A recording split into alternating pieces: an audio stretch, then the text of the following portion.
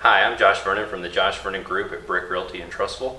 Let us know if we can help you buy or sell a home.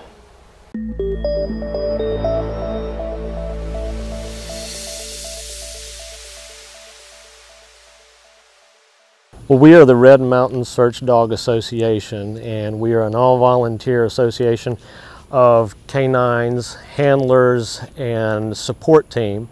And what we are offering is a service to law enforcement and first responders to the central Alabama area for finding missing or lost persons, whether they be children uh, that have wandered off, you know, from a campsite, or maybe uh, a patient with Alzheimer's who has wandered away from uh, an adult center, something like that.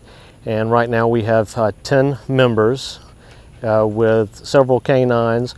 And so what we want to be able to do is just to get the word out to organizations around this area that we are a resource for them and that we would like to be able to assist if they could use our services.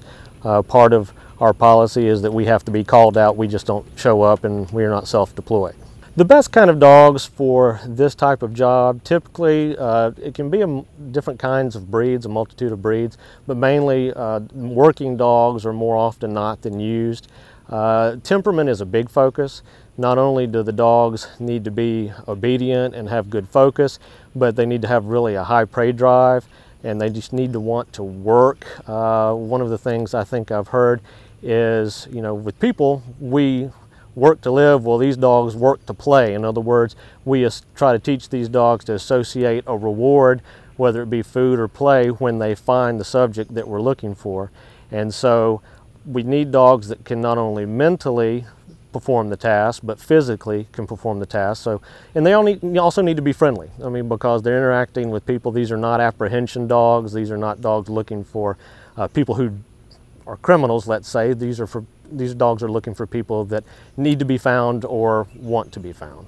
Well, the things that we do when we're called out, we train weekly and sometimes more than that. But as far as uh, the handlers and the search team is concerned, we all have to be very skilled as far as things as our orienteering, use of a map and a compass. With uh, communications, we all are either ham radio or amateur radio certified or working toward that. Uh, being able to read maps, being able to survive in the wilderness, also being able to administer basic first aid. If we were to come across a missing person uh, and they needed basic first aid, we need to be able to offer that to them until uh, they can get more advanced medical support wherever they may be located. And the way we train, um, we will work with the different canines. The handlers are the ones who are working with the dogs, watching for the dogs' signals and their behaviors. They're interpreting their body language and their behaviors to know when they're in scent, when they've, what we believe, have found the scent of the particular person that we're looking for. And then they're the rest of the team and we're ground support. So I'm the one that's walking along with the handler and the dog. I'm carrying all the supplies, the radio, the map. I'm trying to focus on all that. Uh, these dogs are what are considered area or um, air scent. They're not really using trailing where their nose is to the ground, but their nose is up in the air most of the time.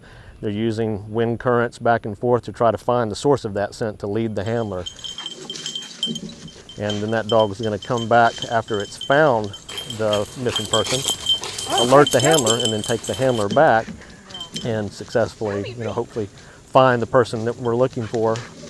Yay! Yay!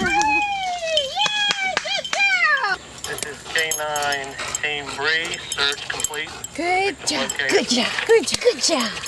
Thank you for finding me. You're so good. Oh my goodness.